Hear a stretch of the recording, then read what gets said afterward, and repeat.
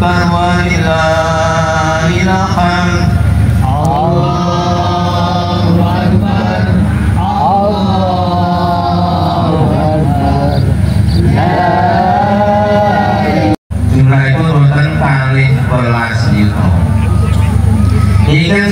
Salajengipun kira kagem pendidikan setunggal kagem TPA Al Mutakin dadapan setunggal yuto kawan seket rupiah kali kagem TPA Anur Jiwa setunggal sehingga total pengeluaran wonten kawan doso songo yuto sangatus itu likur ewu sangatus rupiah. Sehingga salajengipun nihil mengatakan enggak laporan saking infak sholat Idul Fitri tanggal selikur April kali hewu likur likur ya di Antanis pun juga tunggal saking Masjid Darussalam Masjid Asalam Sokonio lembunipun tiga pindahipun sedoso Berjo kulon Masjid Sejo Harjono Nandang Masjid Sejo Harjono lembunipun sekawan pindahipun itu Masjid Darussalam lembunipun sekawan pindahipun enam lajeng Berjo Kidul Masjid Al-Hikmah lembunipun enam pindahipun bolu menyatukan hati untuk memanjatkan syukur kehadirat Allah Subhanahu wa taala. Sudah demikian banyak nikmat yang kita terima hingga tidak berbilang jumlahnya.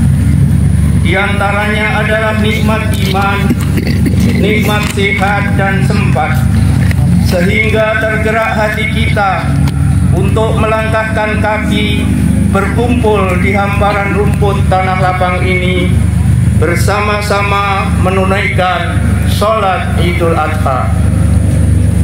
Salawat dan salam semoga ditetapkan kepada junjungan kita Nabi Agung Muhammad Sallallahu Alaihi Wasallam. Keduanya adalah ibadah haji dan kurban dalam perjalanan hidup manusia untuk sukses dituntut adanya semangat berjuang dan pengorbanan di dalamnya tanpa semangat itu mustahil keberhasilan atau kesuksesan dapat diraih.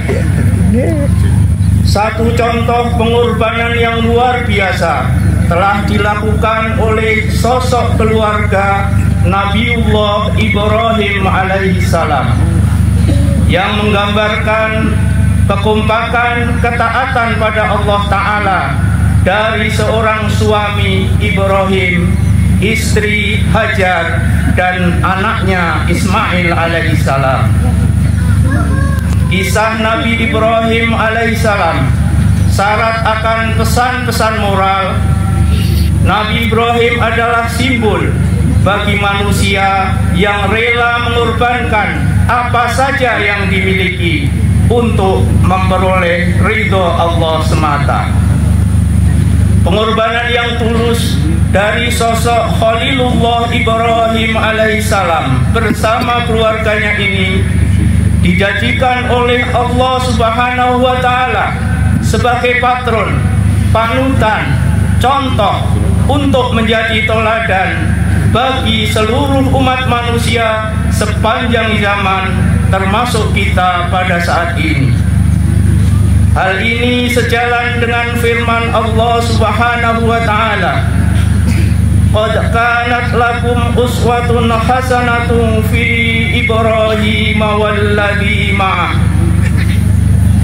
Sungguh adalah bagi kamu menjadi contoh teladan yang baik tentang kehidupan Ibrahim dan orang-orang yang bersamanya. Quran Surat Al-Mumtahanah ayat 4 Jamaah Idul Adha Rahimahumullah Peristiwa penting yang pertama yang tidak lepas dari hari raya Idul Adha ini adalah ibadah haji. Hari-hari ini telah berkumpul sekitar 2,5 juta umat Islam dari seluruh penjuru dunia dan 220 ribu lebih di antaranya adalah saudara-saudara kita dari Indonesia. Semua datang berkumpul memenuhi panggilan Allah melalui seruan Rasulnya Ibrahim alaihissalam yang diabadikan dalam Al-Quran surat Al-Hajj ayat 27 wa adhinu fin bil hajj rijalan wa ala kulli dhamirin ya'tina min kulli fajjin amir. Dan serulah manusia untuk mengerjakan haji niscaya mereka akan datang kepadamu dengan berjalan kaki atau mengendarai setiap unta yang kurus. Mereka datang dari segenap penjuru yang jauh salah satu hikmah dari ibadah haji yang sudah dapat kita rasakan sejak sebelum berangkat sejak kita berniat bulat untuk pergi haji adalah sabar kita dilatih untuk bersabar sejak kita mendaftar kita menunggu antrian yang demikian panjang dapat sampai belasan atau bahkan puluhan tahun.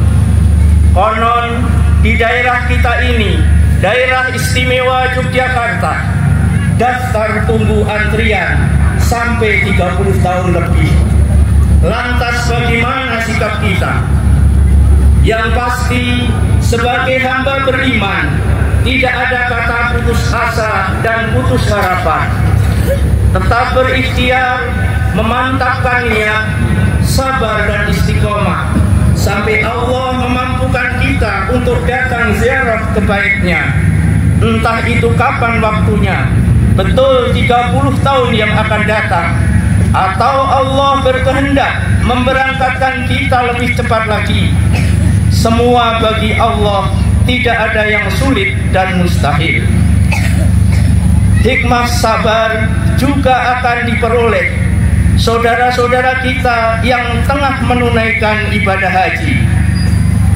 Sabar, sekian belas jam berada di pesawat udara, mungkin itu jarang atau pengalaman yang belum pernah kita alami. Sabar, ketika lebih dari sebulan lamanya ketemu makanan yang tidak cocok di lidah kita. Tidak seperti menu sehari-hari yang ada di rumah kita.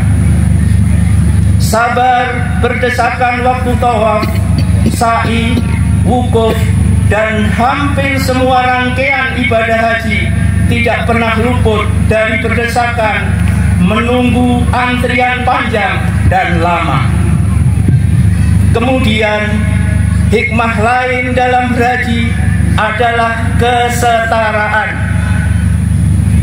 Dalam keseharian, sadar atau tidak, kita telah dibedakan kadang-kadang satu sama yang lain karena pangkat atau jabatan, karena status ekonomi, miskin atau kaya, karena nasab dan keturunan dan sebagainya. Nah, pada saat kita menunaikan ibadah haji, saat kita berikhram, semua pakaian serba sederhana. Bahkan bagi kaum laki-laki hanya mengenakan dua lembar kain yang tanpa berjahit. Saat itulah lepas semua pangkat dan jabatan yang ada dalam diri seseorang tidak ada lagi baju mewah bermerek yang menunjukkan dia orang kaya. Tidak nampak lagi sepatu branded, tanda pemiliknya orang berduit. Tidak ada lagi baju formal yang menunjukkan dia pejabat tinggi. Dan seterusnya, dan seterusnya. Saat berikhram itulah semuanya setara kedudukannya sebagai hamba Allah dan mendapat perintah yang sama. Kita dilarang menganiaya, membunuh, merusak, dan mencabut pepohonan. Kita dilarang bertengkar dan berkata kotor. Kita dilarang mengumbar syahwat dan larangan-larangan lain selama berikhram. Singkat kata, di antara banyak hikmah ibadah haji itu ada dua hal kita diingatkan akan sabar dalam menghadapi semua tantangan dan masalah hidup ini serta kesetaraan bagi semua orang. Pada hakikatnya, ternyata kita ini bukan siapa-siapa, tidak punya apa-apa, dan tidak ada yang bisa disombongkan kepada orang lain. Jamaah sholat Idul Adha rahimahumullah. Peristiwa kedua yang terkait dengan Idul Adha adalah perintah kurban. Mari kita renungkan firman Allah Ta'ala di sebuah surat yang menjadi favorit kita karena pendek dan hampir semua kita menghafalnya. Al-Kautsar ayat 2 Fasolli li wanhar Maka laksanakanlah sholat karena Tuhanmu dan berkorbanlah. Di sini perintah kurban disandingkan dan didahului dengan perintah sholat. Dalam sholat terkumpul beberapa unsur yang tidak terdapat pada ibadah yang lain. Sholat melibatkan hati, lisan, dan anggota-anggota gerak kita. Sedangkan dalam kurban, seseorang harus hadirkan sifat itsor, mendahulukan keridhaan Allah, berhusnudon kepadanya, dan yakin penuh dengan apa yang ada di tangan Allah. Tergambar dalam perintah ayat di atas, diawali dengan perintah sholat yang menggambarkan kesolihan individual, ketaatan pribadi, memantapkan hubungan kita terlebih dahulu dengan Allah Ta'ala. Setelah itu, kemudian dilanjutkan dengan perintah berkurban yang menggambarkan kesolihan sosial, sikap peduli, membagi kemaslahatan untuk orang lain. Jamaah Idul Adha rahimahullah sebagai catatan akhir dari khutbah pendek ini, mari bersama-sama kita renungkan beberapa hikmah seputar Idul Adha yang kami sampaikan dalam khutbah ini. Yang pertama, kita dilatih untuk dapat bersikap sabar dalam menghadapi masalah dan persoalan hidup seperti kita bersabar, berlatih sabar mulai dari menunggu antrian kuota haji hingga pada saat kita melaksanakan ibadah haji. Seusai sholat Idul Adha ini, diharapkan kita menjadi hamba-hamba yang lebih sabar. Sabar mengurus keluarga kita di rumah, sabar dalam hidup bertetangga dan bermasyarakat, sabar dalam mengemban dakwah dan sabar-sabar yang lain. Yang kedua, kita disadarkan dengan sikap kesetaraan yang mengingat dan melihat orang lain atau kita sendiri saat berikhram.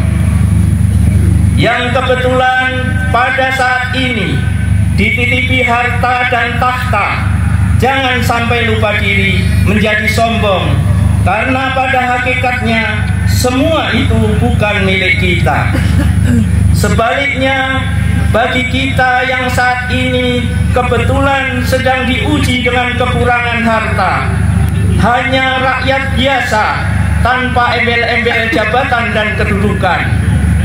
Tidak perlu berkecil hati saat nanti datang menghadap Allah Ta'ala, semua setara dan sama yang membedakan adalah amal soleh dan takwanya saja.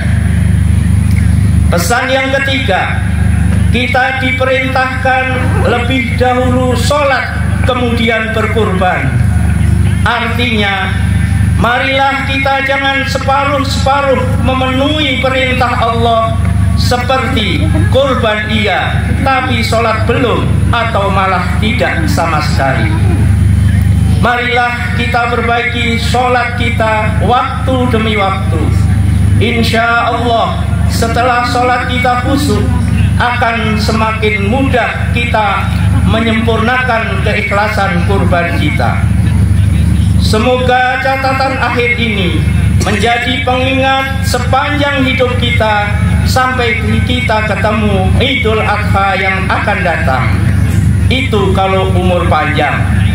Atau kita sampai menghadap ilahi Robbi apabila umur kita dicukupkan.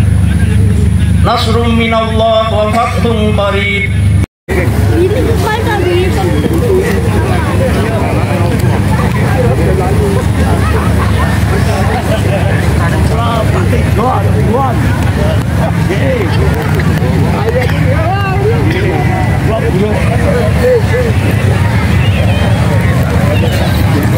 Wah, mantap ini Pak Wajan. Iya, alhamdulillah.